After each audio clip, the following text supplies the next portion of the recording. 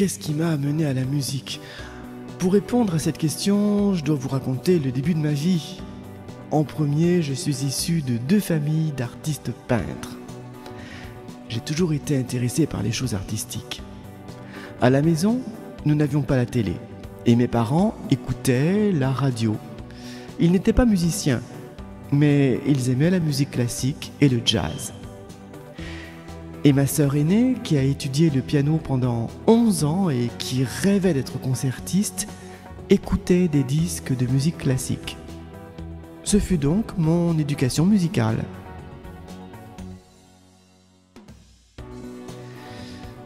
Si ce n'était pas ma carrière musicale, euh, en premier, je suis graphiste. J'ai toujours été créatif, j'ai toujours des idées en tête. Euh, par exemple, j'adore retoucher des photos pour mes amis artistes, comme Colin, Stewart, Brie Darling, Stella Vander et d'autres. Et créer des vidéos aussi. Je ne sais pas si c'est une musique typique. Tout ce que je sais, c'est que j'ai été influencé par beaucoup d'autres. J'ai commencé à avoir des idées de musique dans la tête quand j'étais adolescent. Aussi, je désirais concrétiser cette musique. Je suis un autodidacte, comme beaucoup d'autres. Michel Berger, que j'ai rencontré en 1976, était aussi un autodidacte.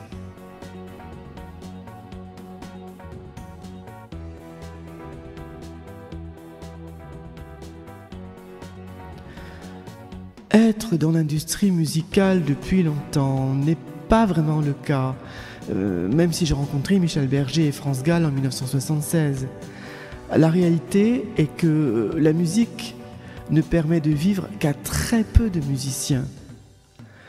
Beaucoup de musiciens talentueux ne vivent pas de leur musique. Hmm, je ne pense pas être un pionnier quant à l'utilisation de l'ordinateur en musique. Dans les années 60 et 70, j'étais fasciné par l'enregistrement multipiste. Mon rêve était de réaliser ma propre musique, mais je ne pouvais pas me procurer d'enregistreur multipiste et je n'étais pas un musicien assez doué pour jouer de tous les instruments nécessaires. Et puis je n'avais ni la place ni les moyens d'acquérir tout ceci. Aussi, à la fin des années, des années 80, j'ai voulu en savoir plus sur la musique assistée par ordinateur. J'ai toujours recherché l'esthétique en toute chose. J'ai imaginé une chanson pour accompagner un défilé de mode. Et je l'ai écrite directement en anglais.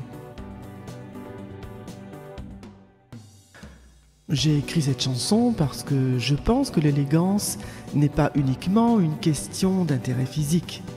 Je pense que l'élégance vient de l'intérieur d'une personne. Et tout le monde peut améliorer ceci.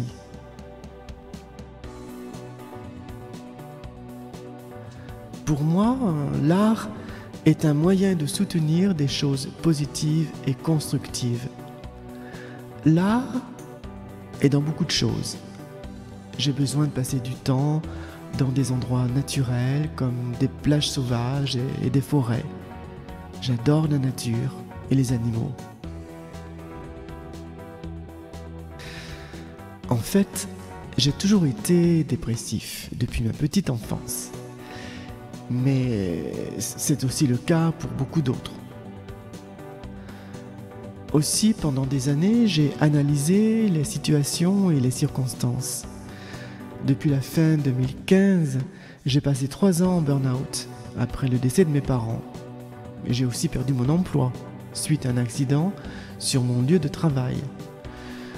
J'ai dû faire face à une situation difficile et injuste je ne pouvais plus travailler physiquement. Aussi, l'art était la seule façon de s'en sortir. Même si cela ne me fait pas vivre, cela me rend heureux. Mais j'ai la chance d'avoir toujours été créatif. Et en 2019, j'ai décidé de couper les ponts avec des gens négatifs. Et des choses incroyables ont commencé à arriver. Colin Stewart et Nicoletta Scarlato sont venus me rencontrer à Paris une fois en France. Je ne pouvais pas le croire.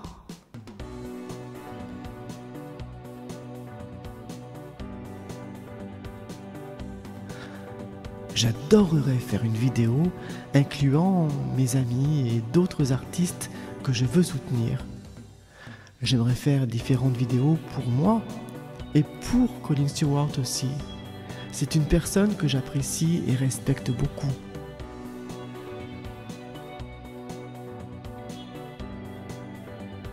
Un message.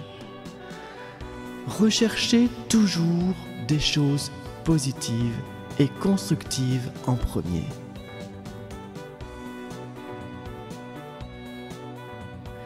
Certaines personnes m'ont dit, après qu'on ait écouté ta musique, on se sent mieux. C'est la plus belle chose que je puisse entendre.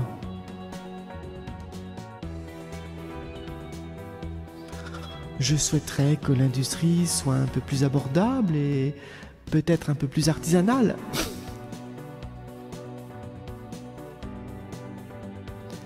J'attends mon album en version CD et maintenant je travaille à la version française de mes chansons pour un gros projet télévisé. Parfois je pense et j'écris directement en anglais même si ce n'est pas ma langue maternelle. Comme je le dis, je suis né en France, mais je me suis toujours senti international. Merci pour votre gentillesse et l'intérêt que vous portez à ce que je fais.